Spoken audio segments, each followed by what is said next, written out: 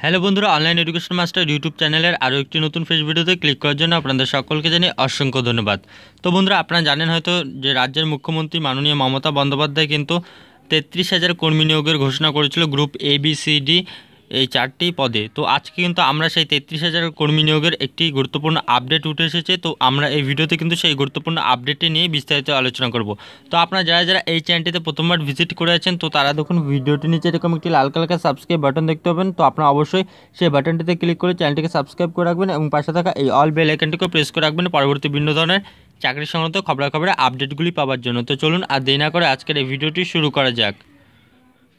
তো বন্ধুরা, এখানে আপনারা দেখতেই পাচ্ছেন, উপরে লেখা দেওয়া রয়েছে যে নতুন করে রাজ্যে এসএসসি গঠনের তোড়জোড় নবান্নের। তো এসএসসি নতুন করে কিন্তু বোর্ড গঠন হতে চলেছে, এসএসসি বোর্ড। তো এই এসএসসির মাধ্যমে কিন্তু যে নতুন করে কর্মী নিয়োগ করা হবে, group A B C D পদে যে মাননীয় মুখ্যমন্ত্রী ঘোষণা করেছিল যে তেত্রিশ হাজার শূন্য পদে কর্মী নিয়োগ করা হবে, তো সেই কর্মীর কিন্তু বেশিরভাগ নিয়োগ করা হবে এসএসসি বোর্ডের মাধ্যমে, অর্থাৎ ওয়েস্ট বেঙ্গল এসএসসি বোর্ডের মাধ্যমে কিন্তু এই কর্মী নিয়োগ করা হবে। তো এবার আমরা নিচে কী বলে দেওয়া রয়েছে বিস্তারিতভাবে কিন্তু একের পর এক জেনে নেব। তো দেখুন, এখানে বলে দেওয়া রয়েছে যে দু হাজার একুশ সালের বিধানসভা ভোটের আগে রাজ্য সরকারি দপ্তরে একলপ্তে কয়েক হাজার কর্মী নিয়োগ করা হবে।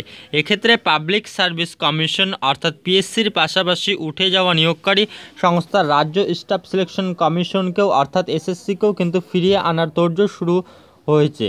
নবান্ন সূত্রের দাবি, আগামী দিনে নন পিএসসি পোস্ট অর্থাৎ যে পদে কর্মী নিয়োগের পরীক্ষা সাংবিধানিক, ওই পরীক্ষা নেয় না। সেগুলি এসএসসির হাতে তুলে দেওয়া হবে। অর্থাৎ যেগুলো কিন্তু নন সাংবিধানিক পোস্ট যেগুলি পিএসসি সম্ভবত পরীক্ষা নেয় না, তো সেই সব পরীক্ষাগুলি কিন্তু এসএসসির মাধ্যমে কিন্তু সংগঠিত হতে চলেছে। নতুন করে কিন্তু এসএসসি বোর্ড গঠন হতে চলেছে। তো তারপরে এবার আমরা জানিয়ে রাখব যে দেখুন, এখানে বলে রয়েছে যে সম্প্রতি বিধানসভায় দু হাজার পনেরো সালে উঠে যাওয়া রাজ্য এসএসসিকে নতুন করে ফিরিয়ে আনার লক্ষ্যে বেনজিরভাবে বিল পাস হয়েছে, যা নিয়ে প্রশাসনিক মহলে মিশ্র প্রতিক্রিয়াও তৈরি হয়েছে। কারণ দু হাজার বারো সালে পিএসসির হাত থেকে গ্রুপ বি, সি এবং ডি পদমর্যাদার কর্মী নিয়োগের ক্ষমতা কেড়ে নবগঠিত রাজ্য এসএসসির হাতে তুলে দেওয়া হয়েছিল। যদিও পরবর্তী সময়ে নবান্নের শীর্ষ মহল, মহলের মনে হয়েছিল এসএসসির প্রয়োজন ফুরিয়েছে, সেই মতো বিধানসভায় এসএসসি তুলে নেওয়ার জন্য বিল আনে সরকার পক্ষ। পরবর্তী আইনে পরবর্তী সময়ে আইন করে এসএসসির কফিনে শেষ পেরেক পুঁতে দেওয়া হয়েছিল। তারপর ফের নতুন করে চতুর্থ শ্রেণির অর্থাৎ গ্রুপ ডির নিয়োগের লক্ষ্যে কিন্তু নতুন করে তৈরি করা হয় গ্রুপ ডি রিক্রুটমেন্ট বোর্ড অর্থাৎ ডাব্লিউ বিজিডিআরবি বোর্ড তো সেই বোর্ডের মাধ্যমেই আপনারা জানেন হয়তো দু হাজার সতেরো সালে কিন্তু পরীক্ষাটি হয়েছিল ওয়েস্টবেঙ্গল গ্রুপ ডি রিক্রুটমেন্ট বোর্ডের মাধ্যমে। তারপরে বলা হয়েছে যে দু হাজার সতেরো সালে একবার পরীক্ষা নিয়েই সেই বোর্ড বর্তমানে প্রায় অকেজ হয়ে পড়ে রয়েছে। স্বভাবত নতুন করে এসএসসি ফিরিয়ে আনা নিয়ে আমলা মহলের একাংশ প্রশ্ন তুলেছেন। তাদের বক্তব্য কোটি কোটি টাকা খরচ করে কেন পৃথক এই সংস্থা তৈরি করা হলো, কেনই বা তুলে দেওয়া হলো? তবে এই মুহূর্তে ফের সেই সংস্থাকে নতুন করে গড়ে তোলার লক্ষ্যে কাজ শুরু করেছে নবান্ন। এখন দেখা সেই সংস্থার আয়ু কতদিন হয়? তো বন্ধুরা, নবান্ন কিন্তু যে এসএসসি সেই এসএসসি বোর্ড গঠন করছে। তো এই এসএসসি বোর্ড গঠন হওয়ার পরে কিন্তু বিভিন্ন এ বি সি ডি পদের কিন্তু রিক্রুটমেন্টের যে নোটিফিকেশন তো সেই নোটিফিকেশনগুলো আজ কিন্তু আসতে থাকবে।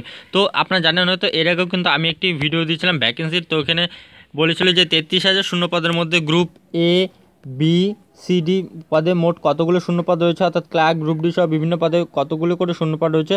তো সেই সবগুলো কিন্তু আগে আমি একটি ভিডিওতে বলে বলে দিয়েছিলাম। তো আপনারা যদি সেই ভিডিওটি দেখে না থাকেন, তো আমি এই ভিডিওটির নিচে ডেসক্রিপশন বক্সে লিঙ্ক দিয়ে দেবো। তো সেখান থেকে কিন্তু আপনারা অবশ্যই সেই ভিডিওটি দেখে নিতে পারবেন। তো এই ছিল কিন্তু আজকে আপনাদের জন্য একটি গুরুত্বপূর্ণ আপডেট নতুন এসএসসি বোর্ড গঠন হতে চলেছে। তো এটি কিন্তু আমাদের কাছে একটি দারুণ সুখবর। তো এই এসএসসি বোর্ড গঠন হয়ে গেলেই কিন্তু বিভিন্ন ক্লার্ক সহ, গ্রুপ ডি সহ বিভিন্ন রিক্রুটমেন্টের নোটিফিকেশনগুলো কিন্তু আসতে থাকবে। তো বন্ধুরা এরকম বিভিন্ন চাকরি সংক্রান্ত খবরাখবরের আপডেটগুলি পাওয়ার জন্য চ্যানেলটিকে অবশ্যই সাবস্ক্রাইব করে রাখবেন। এবং বন্ধুরা, ভিডিওটি দেখার জন্য ধন্যবাদ এবং ভিডিওটি ভালো লাগলে অবশ্যই ভিডিওটিতে লাইক, শেয়ার এবং কমেন্ট করে জানাবেন।